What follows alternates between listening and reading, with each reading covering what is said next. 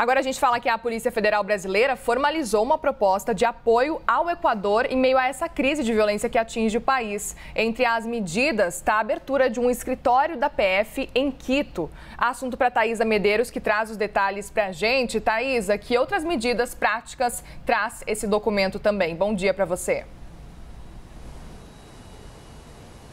Bom dia, Muriel. Bom dia para todo mundo que nos acompanha aqui nesse domingo. Olha, são seis medidas que foram sugeridas nesse documento que é assinado pelo diretor-geral da Polícia Federal, Andrei Passos Rodrigues. Entre as medidas, além da criação do escritório em Quito, também tem o envio de agentes da Polícia Federal para auxiliar aí no combate ao crime organizado. Dois agentes, pelo menos, seriam enviados. Também o compartilhamento de informações de inteligência e as equipes de inteligência especializadas em localizar fugitivos também serão colocadas à disposição da polícia equatoriana. Então, algumas sugestões foram feitas uh, por meio da Ameripol, que é essa rede de polícias das Américas, que, foi, que é composta aí por mais de 30 representações de países da América, mas na reunião de sexta-feira, 20 entidades estiveram presentes nessa reunião que aconteceu de forma virtual e que foi convocada justamente por Andrei Rodrigues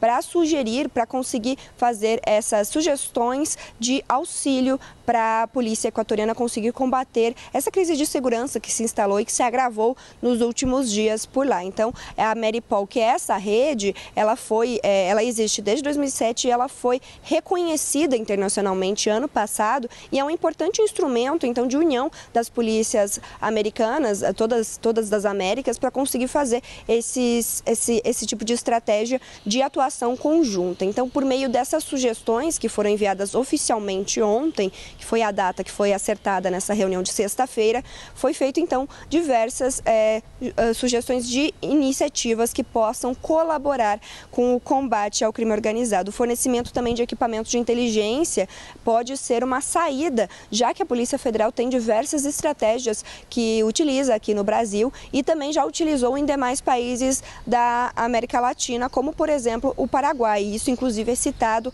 por Andrei Rodrigues nesse documento para justificar aí esse conhecimento, né, além do Brasil, de como é organizado aí esse tipo de organização criminosa de maneira geral. Então tudo isso foi feito ainda ontem e nos próximos dias a gente deve ver esse desdobramento de como vai funcionar na prática essa atuação conjunta. Volto contigo, Muriel.